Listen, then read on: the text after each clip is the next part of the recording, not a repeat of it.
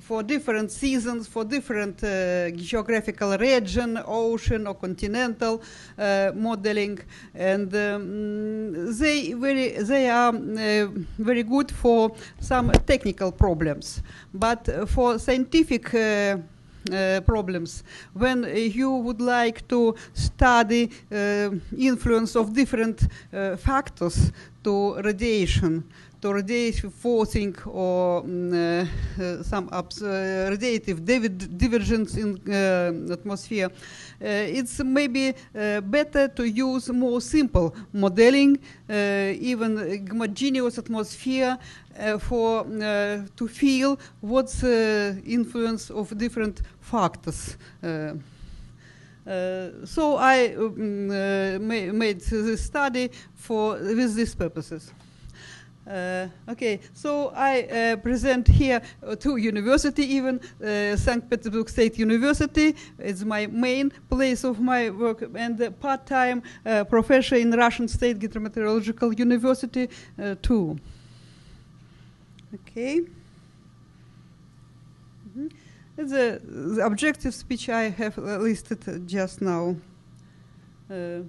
And then uh, in St. Petersburg University, I think about 30 or even years ago, there are uh, um, some uh, several decades was uh, um, fulfilled um, very uh, mm, interesting uh, airborne observations of semispherical radiative fluxes in shortwave region in the clear atmosphere sounding in the different altitudes and uh, cloud atmosphere. And i will uh, use this uh, data for compare comparison of my just model mod- modeled theoretical results with experimental um, data. Okay. So it's a very simple, there's a very evident optical parameters of atmosphere. It is a, a optical thickness, uh, aerosol scattering, aerosol absorption, molecular scattering, molecular absorption for clear atmosphere. And for cloud atmosphere, the addition of the optic cloud optical thickness. And uh, I uh, consider different cases. For example, uh, homogeneous atmosphere uh, when cloud as smooth in all atmosphere, just added uh, to the clear atmosphere, and two-layer uh, case. And the ground albedo, which uh, I uh, use here in my modeling, only three cases, 0, uh, 0.5, and 0.9. And, but it's more, more complicated, different wavelengths, different values of surface ground albedo. Okay, it's about ground albedo a bit uh, more. It's uh, from from the uh, airborne observations which I have talked. Uh, the th- three cases, main three surfaces: water, snow, and sand. And uh, the, uh, here um, you can see the many many curves different uh, from different observations, uh, and uh, some uh, the uh, approximation uh, um, uh, with with uh, some um, uh, uh, linear and uh, polynomial approximation. This, uh, uh, our processing of uh, airborne observations here in this article. You can see you can find so uh, I now in, on St. Petersburg University I uh, deal with the uh, light sounding of the atmosphere in the city, and we have two uh, complexes: one stationary in the center of the city, and another the uh, mobile on the car. And so I uh, use for compare comparison some our uh, last latest uh, uh, data data about aerosol uh, amount in the atmosphere. It is uh, our system. Uh, some details, oh, it's uh, bit later. So it's, it's the same. It's about a technique, we, nice pictures, and uh, we, we, we, measure the vertical profile of wind uh, too. It is uh, some uh, results of the uh, mm, uh, such a uh, pollution uh, city uh, above above city uh, head head pollution. And uh, during during an hour in one hour and uh, the same picture till 25 kilometers and so uh, yeah, Junge Junge layer uh, the stratospheric aerosol it's possible to see. So this is uh, the optical parameters of the clear atmosphere which I have uh, used. So I use uh, four aerosol modeling. So here only three. Uh, there are no aerosol at all. Uh, the the um, small aerosol amount and it is a very uh, a huge uh, amount of aerosols, uh, which is um, maybe not so real, but sometimes it's happen. Um, if uh, Elena talk us about the Moscow event of uh, 2010, uh, the same. This was a ve- ve- very very big um, um, values of optical aerosol thickness. And um, here the results of the, the, the optical thickness and uh, uh, single scattering albedo. It is a very important parameter for radiative calculations, which uh, show us uh, the uh, degree of uh, absorption, uh, radiation absorption in the atmosphere. Because, and um, so here the, the result. Uh, thi- thi- this, these parameters, uh, single scattering albedo and optical thickness, which are used in radiative modeling then. It is uh, uh, the same the- in the picture, clear atmosphere, optical thickness, and single scattering albedo. Uh, it is modeling data. It is a, a bit more clear, the light sounding at two wavelengths in UV and uh, view, visual. Uh, it is possible to find um, the, our last um, uh, publications about it. So uh, there's a comparison of uh, mm, my modeling, model, modeling and uh, sounding, LIDAR, LIDAR sounding, and the airborne observations above Ladoga Lake and in the ground observations. Uh, optical, optical, uh, optical thickness. It is the optical thickness. Okay, it is a calculations of uh, radiative characteristics in the case of clear atmosphere. Uh, some uh, for different models there are no aerosol at all.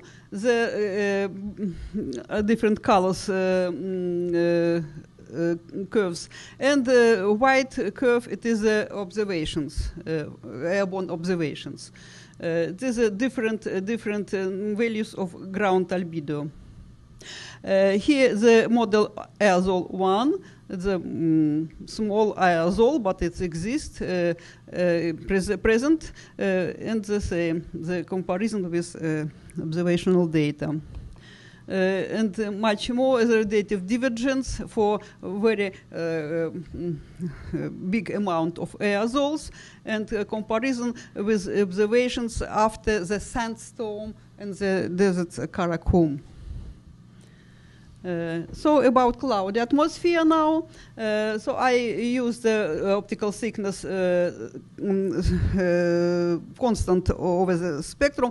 So for every wavelength, I use simple mm, optical models and then calculate for different wavelengths. It's, you can take uh, so many wavelengths how, how you would like. So, for example, I, I use a 12.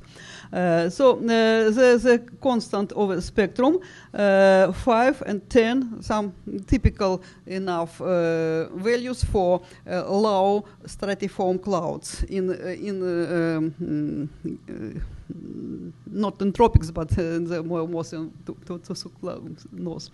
And then uh, cloud 2 model, it is a two-layer atmosphere. Uh, so the cloud uh, layer and uh, above uh, clear atmosphere. And then cloud 3, it is a spectral dependent optical thickness. This is uh, dependence I have um, obtained when I solve the inverse problem from the radiative observations, retrieve optical thickness in 10 cases I have uh, obtained the spectral dependent optical thickness. Yeah, the optical parameters of cloud. Uh, there's just one maybe important point. Uh, till now, uh, most of the uh, um, uh, people who calculate radiation uh, cons- uh, consider that uh, clouds in shortwave uh, spectral range uh, uh, does not op- absorb the radiation and uh, uh, assume the single scattering albedo uh, equal to one usually uh, uh, out of the uh, molecular bands. But you can see that only in the case when uh, full um, up, up, absent of aerosols, we have this this value here. Uh, wow. Uh-huh. so only uh, unit unit when there are no aerosol at all. In any uh, other cases, we have uh, three uh, nines about or uh, uh, more difference, most difference from unit. This important parameter. Uh, it is very important because uh, this uh, um conservative scattering, as, as, as uh, people talk, only in the case of full uh, absence of aerosols possible. So I don't know why till now the most people assume just only these cases for clouds. But uh, it's necessary to uh, point out that uh, these uh, values uh, provides uh, the mm, about from 10 till 25% of absorption of solar radiation that fall in the top of clouds. So cloud atmosphere absorbed uh, enough uh, uh, radiations in the uh, atmospheric layer. So this, this, this is different for clouds uh, for 5 and 10, it's, uh, you can see. And this, uh, it is about uh, above cloud uh, layer, there are not something special. And uh, the cloud 3 is a uh, mm, spectrally dependent model. The, the, the, the effect the same for single scattering albedo. So this is some pictures about the same. And it is a, uh, uh, comparison with the parameters which was uh, retrieved from uh, radiation, radiation airborne uh, and uh, measurements, observations. It is a single scattering co-albedo, unit minus uh, scattering albedo. And uh, this uh, thick thick uh, lines, it is my modeling, and uh, uh, there are a lot of uh, um, uh, retrieval, retrieval, retrieval dependence that uh, mm, all consistent with the modeling. It is a radi- radiation, radiation calculation, radiative divergence in the mm, at Ladoga, above Ladoga Lake, above the Ladoga Lake, and uh, some two model two models of um, aerosols. Uh, the same for mm, uh, GATE experiment. It was in tropics at above Atlantic Ocean, uh, close to Sahara, to, the, to northwest Africa, and uh, uh, above Ladoga, and uh, different aerosol modeling. And it is a, uh, relative, relative uh, values of radiative divergence and comparison with observations also. So you can uh, find the mm, data about uh, observations, and uh, there are semispherical fluxes. There are uh, some uh, different approaches of inverse problem um, solution for clear and for cloud atmosphere and result of this inverse problem. In this case, in these books, you can see and some about radiative forcing. So uh, here you can see that radiative forcing is sure it is a, uh, um, some averaged during a year and global characteristics. It is uh, something uh, sim- uh, similar, but it's a local and not uh, averaged in time. Uh, so, but uh, in all cases, uh, we uh, can see that cloud cloud give us uh, negative forcing, and uh, aerosol, in especially in cloudy atmosphere, give a, a very uh, significant significant uh, radiative forcing uh, in, cloud atmosphere, most uh, bigger than in clear atmosphere. Uh, something about heating rate. Uh, so some uh, values for aerosol three models when we have a lot of a very very big very high aerosol amount in the uh, atmosphere, the um, significant uh, heating rate, sure. So the conclusions that it's very well, um, simple models is effective enough and is consistent with experiments and it's possible to use it. So I think my main, uh, but uh, sure, this radiative calculations is uh, very important for climate uh, simulations, and use it's uh, necessary use for climate simulations more correct modeling, especially for cloud atmosphere, and necessary to account the aerosol amount in cloud atmosphere. So acknowledgement to our research park of St. Petersburg University is, is where I uh, have worked, and uh, some contracts in uh, the Russian state uh, hydrometeorological university. And so some cloud. Thank you. Do you have some question? No. Uh, Thank you very much for your wonderful. Oh, sorry. I think very simple. Uh, in your uh, earlier uh, uh, graph, you have shown the contributions uh, to albedo water, sand, and the uh, snow cover.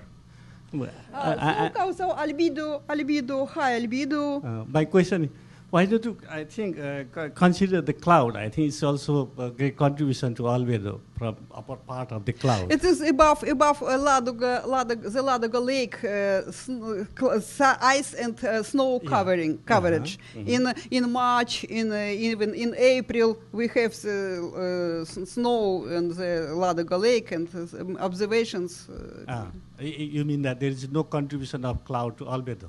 With clou- in cloud in cloudy cases, but we have we have a clear in clear atmosphere observations and in cloudy cases too. The, both both both cases. Ah, Okay, thank you. Lena, thank you uh, as a time for your wonderful presentation. Oh, thank you.